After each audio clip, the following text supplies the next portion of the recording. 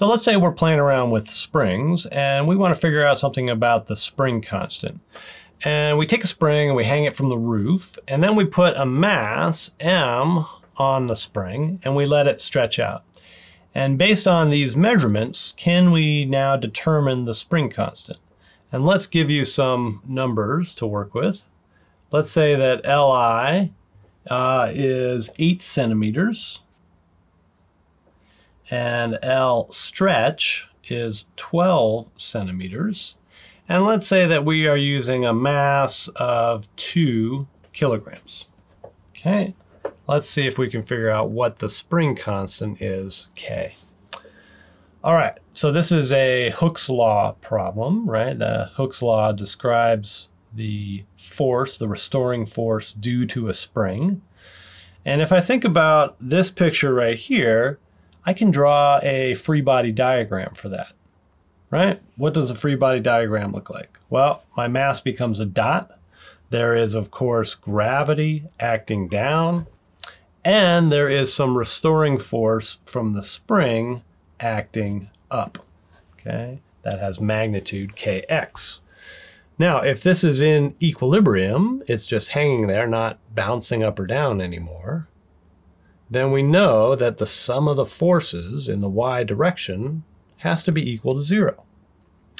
Kx is going up. mg is going down. Those are the only two forces, so they have to add up to zero. And now look, we can solve this for x. kx equals mg. x, uh, if I divide by x, If I divide by x, then I get k is equal to mg over x. All right, do we have all those numbers? Well, not quite, because x is really this distance right here. It's the difference between the stretched length and the rest length, Li. And so we have to be careful here. In x, we really have L stretch minus Li.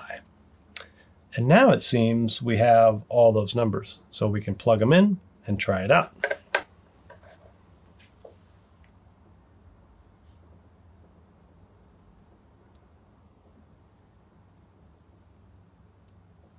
Okay, so K was mg over ls minus li. Let's plug in some numbers. In SI units, we have 2 kilograms for the mass. G is 9.8 meters per second squared. LS is 12 centimeters, but we have to put that in SI units, which is meters, and so that becomes 0.12. Li is 8 centimeters, so that becomes 0.08. And now if you punch this into your calculator, what do you get?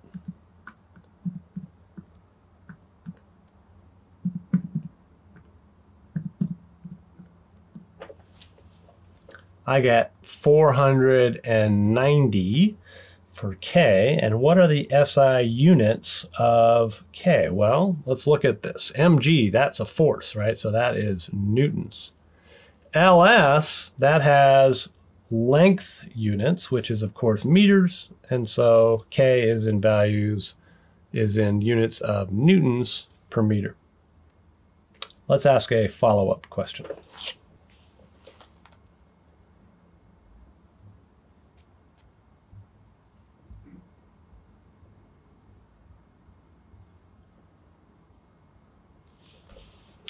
Let's say we double the mass that we're going to put on the spring, and let's see if we can calculate the new spring length. Well, let's go back to that last equation that we had, right? We had an equation that said K was equal to mg over ls minus li. We can use that equation again, but now we're going to change m to 2m. Okay, this mg down becomes 2m. Now we want to solve this for ls. Okay, so we can do that. Let's multiply across by that quantity. We get kls minus li equals 2mg. We can divide by the k, so we get ls minus li equals 2mg over k. And then we can add li. So we get ls equals 2 mg over k plus Li. And now we have all those numbers. We can plug it in and try it. Okay, so the numbers are the following. We've got a 2. We had our original mass, which was 2 kilograms. We've got a G, which is 9.8.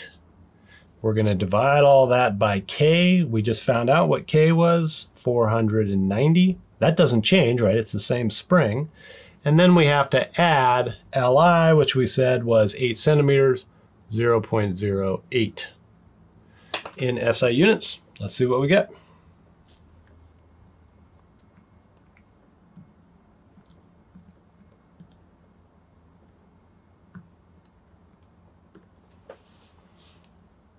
I got 0.16 and the units are of course meters.